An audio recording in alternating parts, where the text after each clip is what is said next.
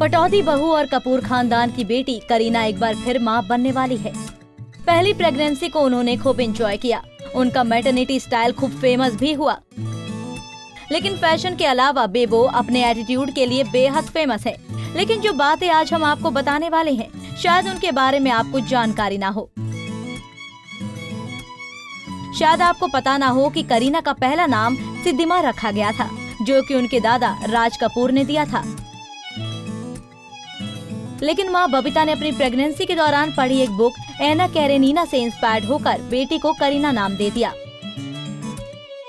सब जानते हैं कि करीना एक बेहतरीन और महँगी एक्ट्रेस है। तो ज़ाहिर सी बात है कि पैसा भी खूब कमाया होगा। लेकिन उनकी हाई फाई शॉपिंग का सारा खर्चा उनके नवाब यानी सैफ अली खान उठाते हैं।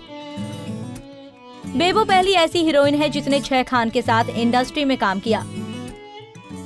शाहरुख, सलमान, आमिर, सैफ अली और इमरान खान के अलावा उन्होंने अंग्रेज़ी मीडिया में इरफान खान के साथ भी काम किया। अफेयर्स की बात करें तो शाहिद करीना के चर्चे हर ओर थे, लेकिन बेबो ने शाहिद को एक तरह से धोखा दिया। फ़िल्म टशन में करीना सैफ के नज़दीक आई। सैफ ने उन्होंने दो बार पेरिस में ही प्रपोज किया। पहली बार करीना ने इनकार किया, जबकि दूसरे प्रपोजल पर दो दिन बाद बेबो ने हाँ कह दी।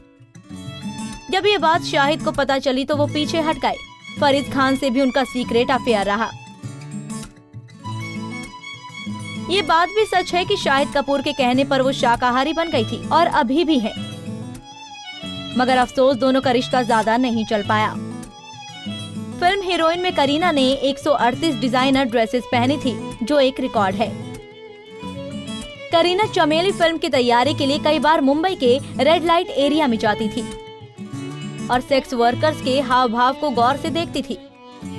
फ़िल्म फिदा में करीना ने नेगेटिव रोल निभाया, लेकिन पति के साथ की गई उनकी सारी फ़िल्में, टशन, कुर्बान और एजेंट विनोद फ्लॉप रही। करीना होली का त्योहार नहीं मनाती। दरअसल, दादा राज कपूर के निधन के बाद उन्होंने फेस्टिवल सेलिब्रेट करना छोड़ दिया। फेवरेट एक्ट्रेस की बात करें तो वो अपनी माँ बबीता की एक्टिंग नहीं, बल्कि नरगिस और मीना कुमारी को पसंद करती थी। बेबे को घुड़सवारी करना बहुत पसंद है। और उनकी बेस्ट फ्रेंड्स की बात करें तो अमृता अरोड़ा, मलाइका अरोड़ा और ईशा देवल है। एक एक्ट्रेस से वो जमकर लड़ाई भी कर चुकी है और वो नाम है बिपाशा बसु। मूवी अजनबी के सेट पर करीना बिपाशा से जमकर लड़ी।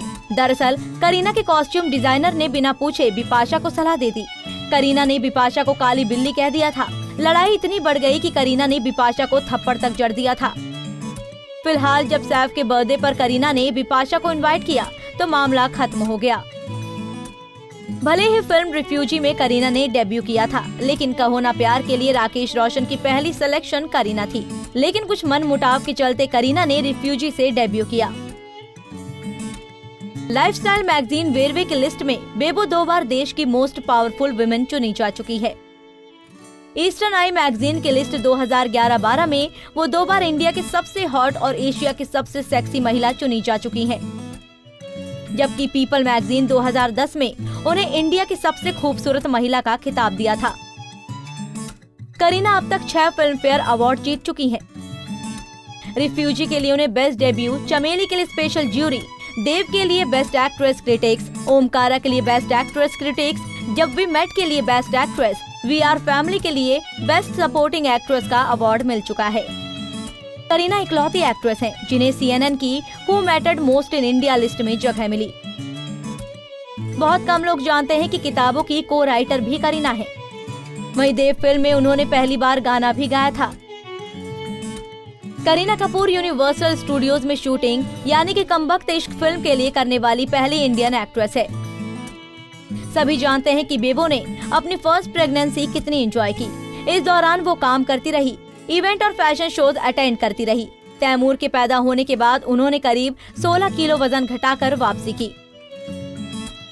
करीना की लाइफ स्टोरी से जुड़ा ये पैकेज आपको कैसा लगा, हमें बताना ना भूलें। और साथ ही में कमेंट बॉक्स में शेयर करें, आप आगे किस दीवा की लाइफ स्टोरी जानना चाहते हैं।